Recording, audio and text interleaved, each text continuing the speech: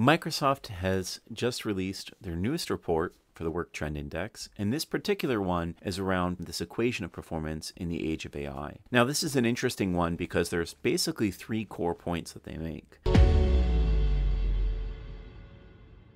This is a, a survey analysis, uh, especially that's done uh, quite robustly. It's across hundreds of organizations, and it represents over three million employees in terms of their satisfaction, feedback, and engagement scores, as well as you know the public uh, data around the stock market value uh, and stock price data of these organizations. The first point that this thing is making is that for the bottom line, employee engagement does matter.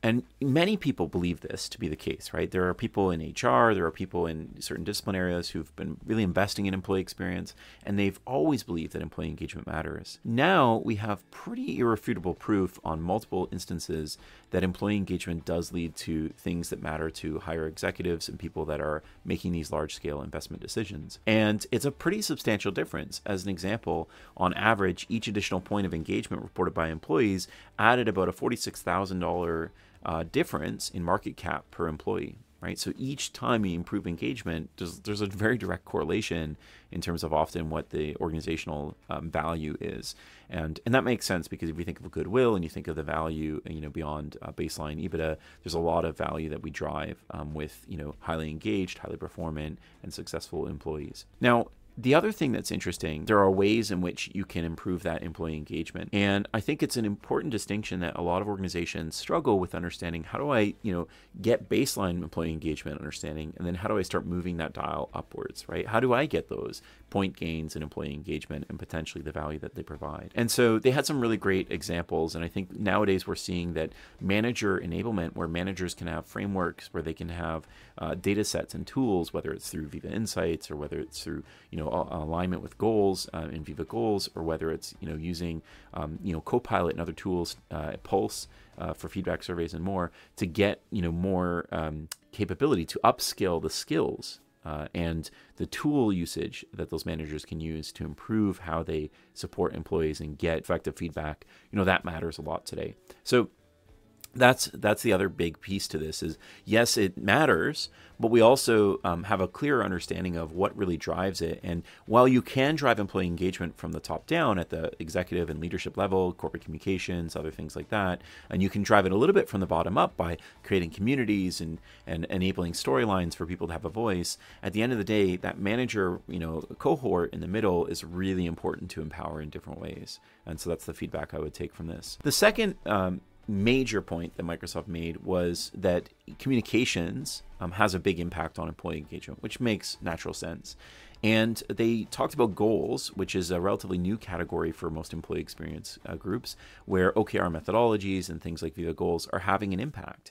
And you know, for many organizations, they're seeing a pretty substantial difference. You know, 46% are more likely to see their organizations as strong communicators when you know they they have uh, higher employee engagement. And so that reception that people have, their confidence in leadership, their ability to understand that the uh, organization has good focus, right? Those are all things that come with high employee engagement. And this is a, a little bit of a difference in that for a lot of organizations today, um, we know that this is a bit of a problem. We need to work on it.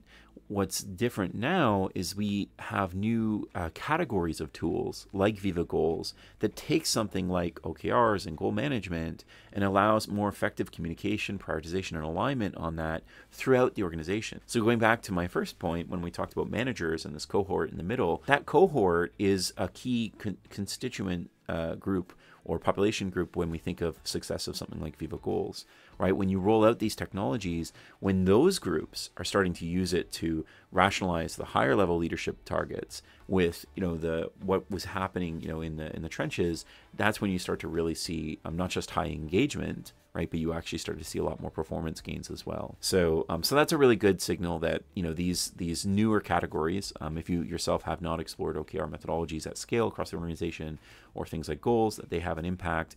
But also, you know, where um, you know, analytics and insight to improve our communications matters. So if you don't know this, one of the other problems some organizations run into when they do that top-down push is they, you know, use one medium. So they, you know, it's in the intranet news, it's things like that. And so one of the things that's really important is, you know, those storylines. It's the the voice of everyone else and connecting those things together that really makes a big difference. So, you know, tools like Viva Amplify that allow you to create communication campaigns and think of this more holistically from a communication perspective are also you know directly correlated to uh, improvements in you know communications engagement uh, and the success and efficacy of communications because you know if you bring it to me in the context of my work or in the way that I want or you give it to me in the voice of somebody I know right instead of that top down thing you know a peer of mine uh, who is amplifying that communication because it resonated with them and they've made a storyline post you know each of those things are going to have a greater success than if we just had the one mechanism which which makes natural sense now the last item in this report from Microsoft is the importance of this. Um, they call it feedback flywheel, but this value of having a way to get feedback uh, from organizations. Uh, you know, again, the mid level is really important here, uh, but also at an organizational or even a personal level, um, we have new signals. Um, we call them uh, indirect and direct signals, right? So you have direct uh, signals like what's in uh, Glint, if you use Microsoft Viva Glint today, where you get those employee engagement survey results, right? Those are direct feedback because they have comments they have you know there's a lot of uh, very clear input from that. Now there's a lot of indirect feedback as well. So think of uh, viva insights the digital signals of behavior how people work um, or the signals that you get from you know these communities and uh, storylines and things like that in Viva Engage. Those types of experiences, when collected together, give us a new set of um, data that we didn't have before that allows us to make more informed and intelligent decisions on how to optimize our employee engagement. And so when you think of this go forward strategy, you know, now we have the data, it's collected for us, and Copilot and AI makes it far easier for us to make sense of that data, right? In the Glint example, you might have tens of thousands of comments in that feedback survey, but it doesn't matter because with Copilot, you can accelerate the processing time, you know, the interpretation time, because you can use natural language questions and answers. You can, um, you know, ask for summarizations. You can do, you know, sentiment analysis. You can do all these different things that were, you know, more more difficult in the past are becoming much faster and easier to do. So there's more of an expectation that we should be um, adjusting our approach and coaching people and guiding people and doing things like that sooner rather than later. And that kind of a change is, is being driven by tooling and digital improvement. It's being driven by age of AI and how AI is changing it. And it's also being driven by, I think, a more mature understanding across businesses of the value of employee engagement, of productivity experiences, and more. So um, I really encourage you to take a look if you haven't looked at the work trend report yourself. They even have a, if you don't have time, they have a one pager version of it that you can look at. Even it, its own report is only about three pages. But, um, you know, I think this is just another set of signals that says, hey, there are things we can do right now that improve employee engagement, that improve em- employee communication, that improve, you know, goals and feedback we should be executing those things because the return is quite substantial for those you know who care about their shareholder price or who care about you know um, patient health in a, in a health, uh, health, institution, or who care about educational quality and student enrollments, right, uh, in a in a university. So you know, depending on your own drivers, right, these types of metrics are still very similar, and we see it even in non you know stock led marketplaces. I hope this has been helpful for you and looking forward to chatting with you guys soon about other reports and interesting insights in the industry.